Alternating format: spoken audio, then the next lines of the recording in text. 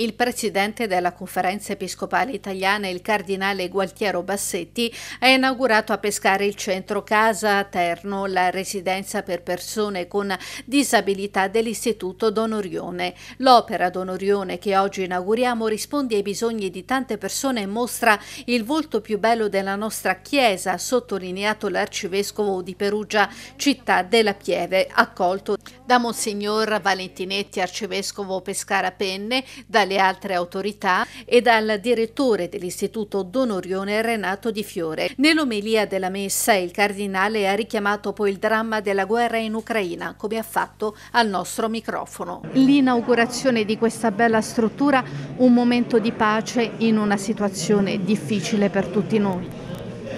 È anche un segno di grande speranza.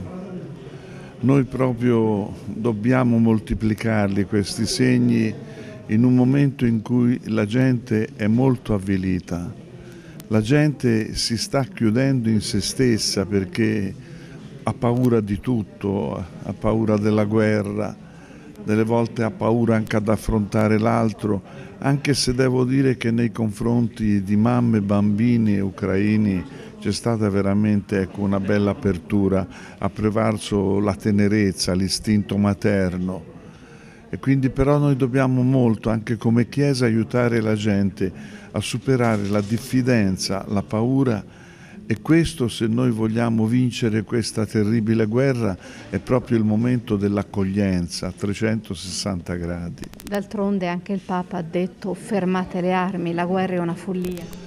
La guerra è una follia perché le armi, è chiaro che moltiplicano le armi eh, dipende da quale logica si sceglie, bisogna credere fino in fondo, come diceva il professor Lapira, io sono fiorentino, in spe contra spem, cioè anche se tu non vedi motivi di speranza, è proprio allora che speri. Ognuno di noi cosa può fare?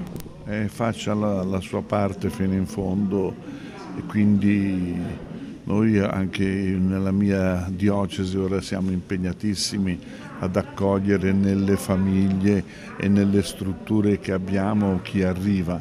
Direttore, oggi è arrivato un grande giorno.